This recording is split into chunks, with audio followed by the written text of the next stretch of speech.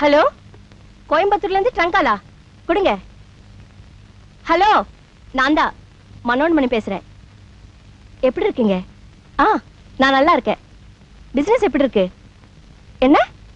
டெல்லி போறீங்களா? சரி நான் அப்புறமா காண்டாக்ட் பண்றேன். ஆ உடம்பு நல்லா பாத்துக்கங்க. வச்சுட்டுமா